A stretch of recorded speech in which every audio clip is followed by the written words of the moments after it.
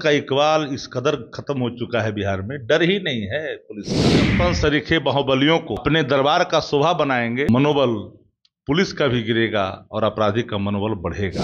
राजनीतिक औकात पैर के धूल के बराबर ने उसी क्या नाम लेते रहते हो? पता नहीं बिहार में कितनी पार्टियाँ खुली। फाउंडेशन देख रहे हैं और मैं हूँ आपके साथ, रंजन सिंह। बता दें आपको कि अररिया में जिस तरीके से घटना हुई है और उस घटना को लेकर तेजस्वी यादव ने अपने सोशल हैंडल पर डाला है। बात करेंगे आरजेडी के मुख्य प्रवक्ता है शक्ति सिंह यादव। क्या कहिएगा?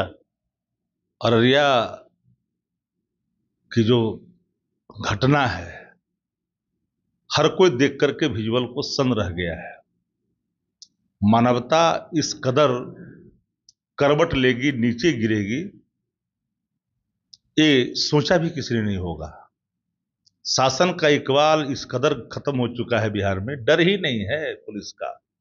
अपराधी हर तरह के अपराध करने से बाज नहीं आ रहे हैं। खौफ ही नहीं है। जिधर देखिए, अपराध ही अपराध है और सत्ता अचेत अवस्था में है शासक। पुलिस तंत्रों का तो हाल क्या बना करके रखा है बिहार में? जब सारे नामी ग्रामी बीरप्पन सरीखे बाहुबलियों को अपने दरबार का शोभा बनाएँगे तो मनोबल पुलिस का भी गिरेगा और अपराधी का मनोबल बढ़ेगा। शक्ति जी एक सवाल है आपके पुराने साथी रहे हैं देवेंद्र यादव। प्रशांत किशोर का दामन थामे हैं।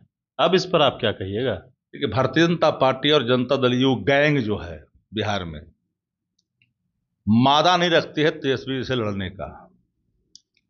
भारतीय जनता पार्टी ने कई संगठन प्रत्यक्ष और अप्रत्यक्ष तौर पर बिहार में खड़ा किया है।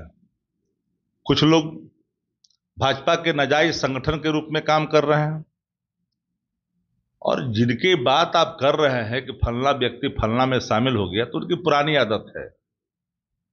न जाने कोई ऐसा पार्टी नहीं होगा जहाँ पर वो नहीं गए होंगे।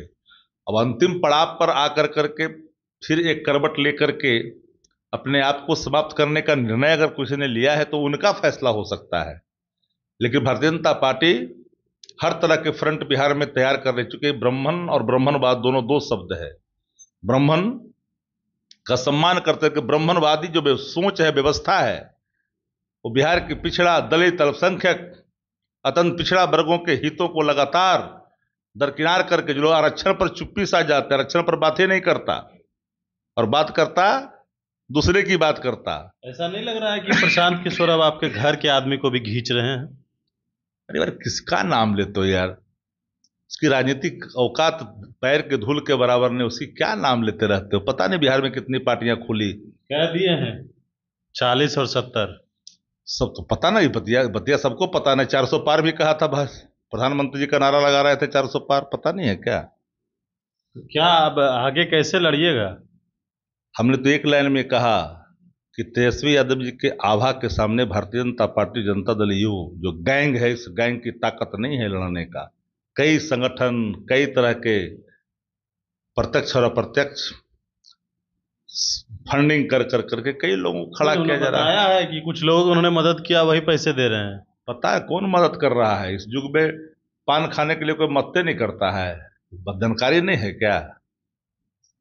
बिल्कुल तो हमारे साथ राष्ट्रीय जनता दल के मुख्य प्रवक्ता शक्ति सिंह यादव थे और आपने सुना है किस प्रकार से अररिया की घटना हुई। या फिर प्रशांत किशोर का जो मामला है तो प्रशांत किशोर की जो पार्टी है उसमें देवेंद्र यादव जो कि पहले राष्ट्रीय जनता दल में थे उन्होंने प्रशांत किशोर का दामन थामा है।